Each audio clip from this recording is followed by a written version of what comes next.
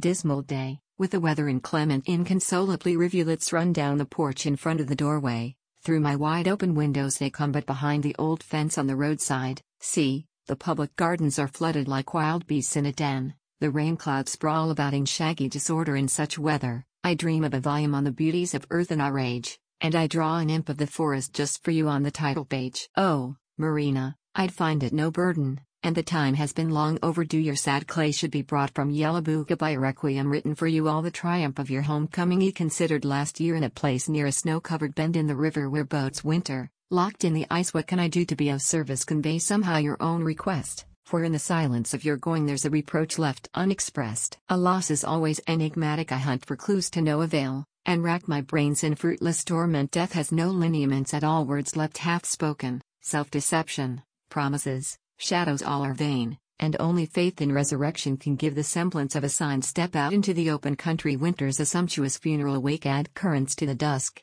then wine, and there you have your funeral cake. The apple tree stands in a snowdrift outside. All this year long, to me, the snow clad city's been a massive monument to your memory. With your face turned to meet your maker, you yearn for him from here on earth, as in the days when those upon it were yet to appreciate your worth.